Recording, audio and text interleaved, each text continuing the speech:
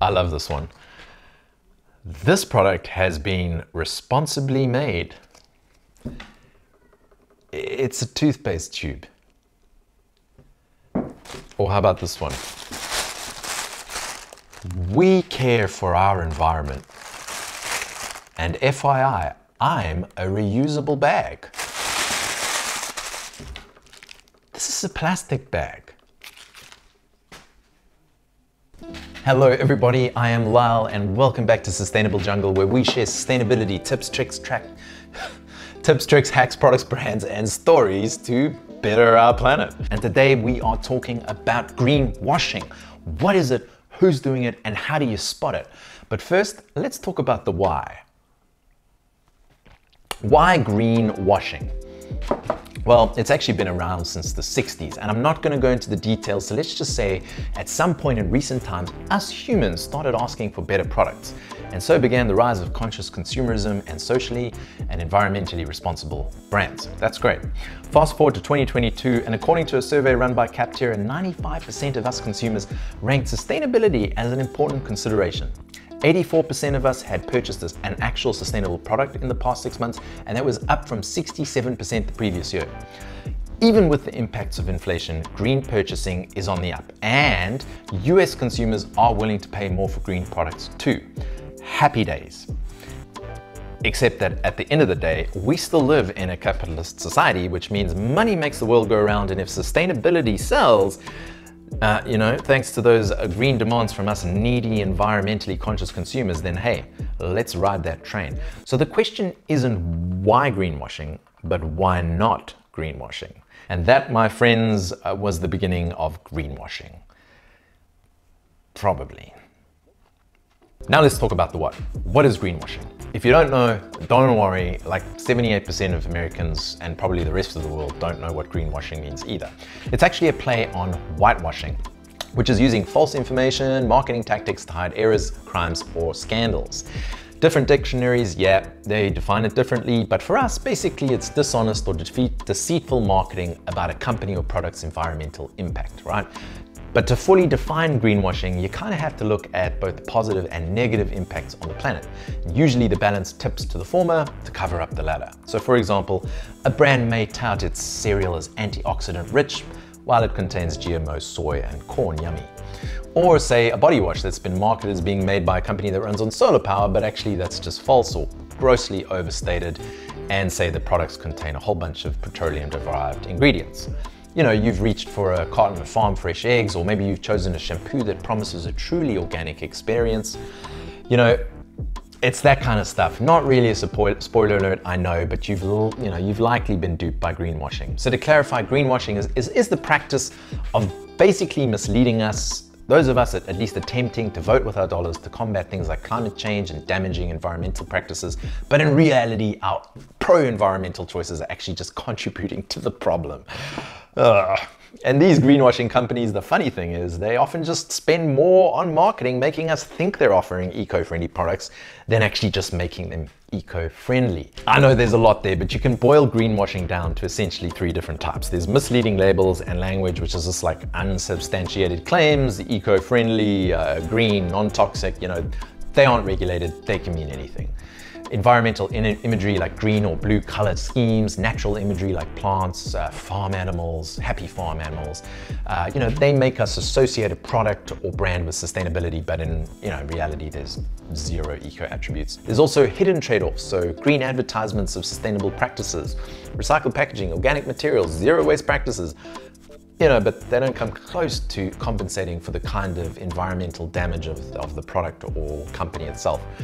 Or more specifically, the former environmental marketing company called TerraChoice developed their own seven sins of greenwashing. I'm getting Brad Pitt and Morgan Freeman visuals right now. But anyway, um, here are some recent examples that I love. Hidden trade-offs was the first one. Defining something as green, but ignoring their environmental impacts like uh, Starbucks straw-free lids that were made of more plastic than their original straw and lid combo. I mean, that's just... Uh, or IKEA's use of beechwood, which was linked by Earthsight to illegal logging in Ukraine's Carpathian region, and that was not funny because it was home to like endangered wolves, bears, bisons, and lynxes. No proof, which is green claims that you can't actually easily verify or even with reliable third-party certs. Uh, like uses 30% less plastic or made with naturally grown ingredients and so many companies are doing this. I'm not even going to go there.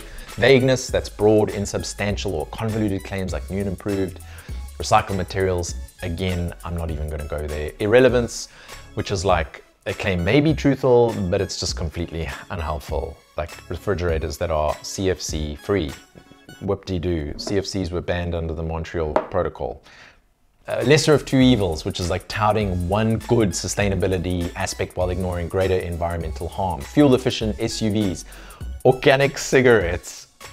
Ah, that's a good one.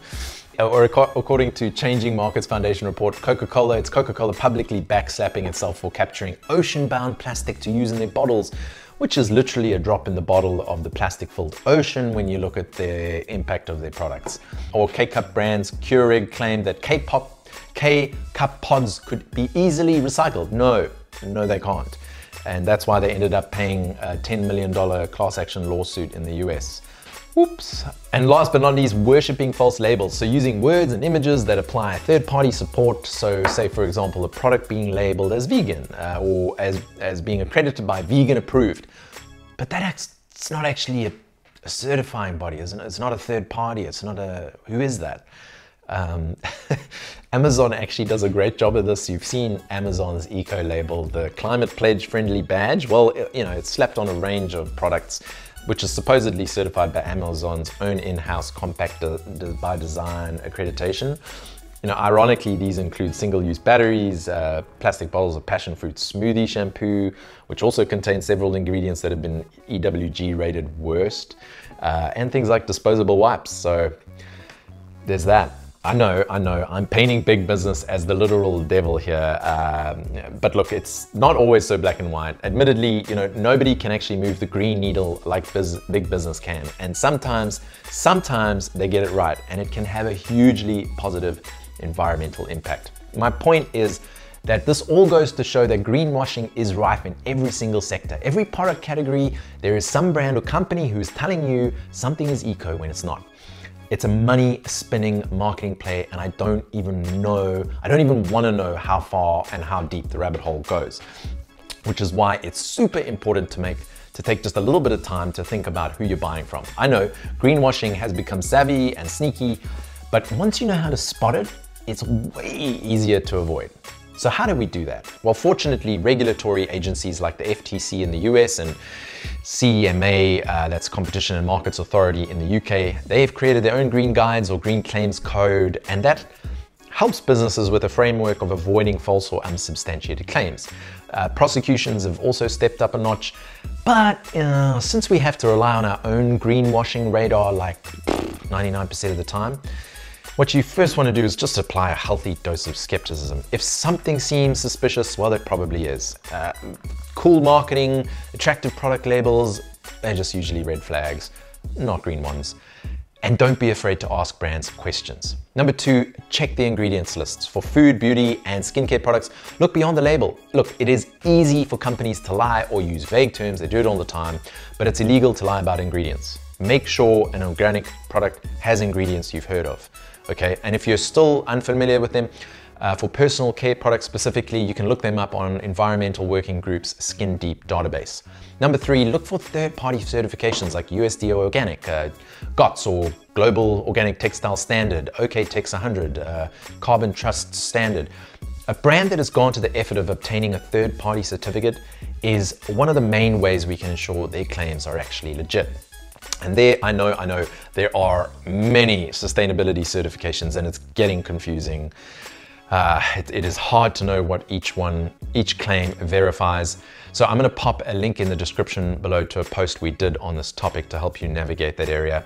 However, it's also worth mentioning that certification schemes themselves, even ones like B Corps and GOTS, are fallible and have sometimes themselves been known to certify some questionable brands and companies, which is why we say that certifications in conjunction with the brand's transparency and your own fact checking is like the ultimate greenwashing avoidance trifecta. A lot of effort, but it's the best proposed solution we have. So what's the takeaway here? Okay, What or who you choose to spend your money on says and does a lot. Mm. I know this is cliche, ugh, but voting with your dollar is, is literally the best thing you can do. So many companies bank on literally mindless consumption. But many brands actually genuinely care about sustainable business practices, and these are the companies and real environmental actions we want to support. I will add links to all the resources I mentioned below. And uh, of course, if you have any other great tips that you want to add to our little trifecta, please let me know in the comments. Thank you for watching. Don't forget to hit that subscribe button and the like button if you did like the video. I'm Lyle from Sustainable Jungle. Uh, much love and conscious consumption always, friends.